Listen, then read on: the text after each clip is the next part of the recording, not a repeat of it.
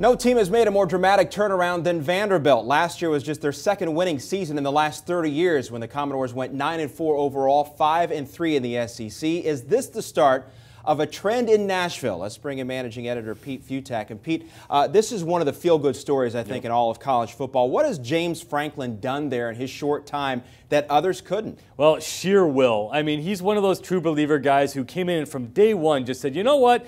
We can win at Vanderbilt. No more excuses. We're not going to make, you know, say we can't compete with the Floridas and Georgias of the world. We're going to get some talented players in here. We're going to compete and we're going to win. We're going to find the guys who want a great education and want to play SEC football. He's a different sort of character, high energy guy. He'll hug guys. He'll beat them up. He'll yell and scream. He'll hug, you know, kiss them and stuff. He's he's just an all around just crazy guy who actually believes that Vanderbilt can be a winning program. So by sheer force of nature, it's been Franklin so far. All right. So last season, quarterback Jordan Rodgers was just ninth in the SEC in passing yards. He's gone, and now Wyoming transfer Austyn Carta Samuels is the favorite to take over yep. there. Do you think they're actually going to be better at the quarterback? You position? know what? Rodgers is okay. Carta Samuels is, is good. His key is he's a little more of a baller. He's a good runner.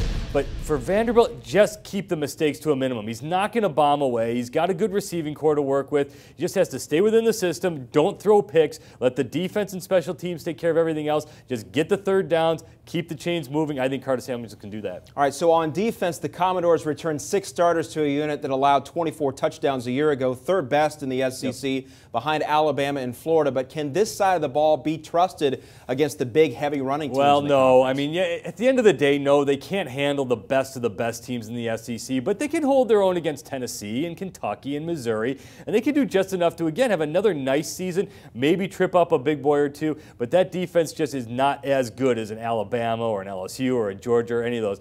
Uh, but again, you know, for, uh, for Vanderbilt, it's all about the formula. Can they get the clock moving? Can they keep the turnovers to a minimum? Can they win on special teams? They got to do all those little things right and then hope the defense comes through when it has to. All right, time for your prediction now. Will the Commodores win nine games in 2014? Nah, you know, it's still Vanderbilt. I mean, you know, you put them in another conference, they're still going to be very good, but they got to deal with all the big boys, and they catch some bad breaks, including the opener against Ole Miss. I mean, that's just as nasty as it gets for an opener for a team that needs a little bit of reworking. After that, you still got to deal with a road game at South Carolina. You still got to play Georgia and Florida. They got to go to Texas A&M. I think Tennessee's going to be better. That's going to be a tough game at the end of the year. The non-conference game is nice and squishy, soft. They should get through that. They'll get to seven and five, but they're not going to get nine again. All right, it'll be interesting to see how the Commodores do. James Franklin, always entertaining Absolutely. as the head coach there in Nashville. Well, don't stop at the doors. Check out all of our team and conference previews here on Campus Insiders.